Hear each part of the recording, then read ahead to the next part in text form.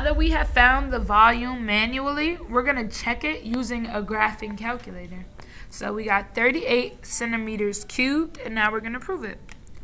Our original formula was V2 equals pi times the square of the function from 4 to 5.5.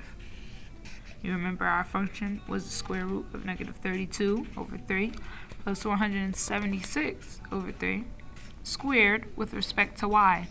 But the square root and the square cancel. So the function we will be plugging into the formula is pi times the function from 4 to 5.5. So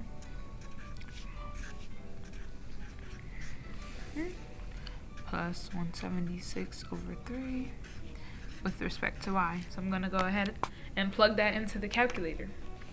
So you have to press Y, turn it on of course, press Y, and then you're gonna plug in the formula, which is open parentheses, and open parentheses again for a fraction, negative 32 divided by 3, close parentheses, times x, and we're using x instead of y because the calculator does not have the letter y. So then you're gonna add close parentheses 176 divided by 3 close parentheses and then close parentheses again and then open parentheses times pi which is second times this button right here and you'll get pi and close parentheses again then you're gonna go to your mode and make sure is it in radians or degrees because if it's in degrees you'll get the wrong answer so make sure it's in radians.